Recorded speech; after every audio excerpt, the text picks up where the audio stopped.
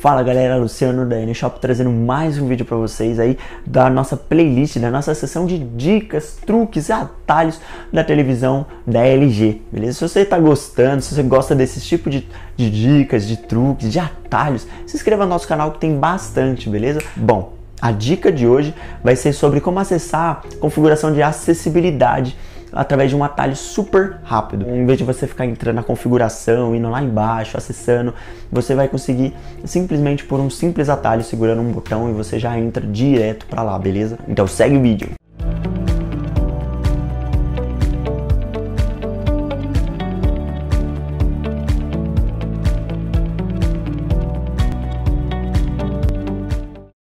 Então, com o controle em mãos, você vai segurar a tecla mutar, né, de mute aí.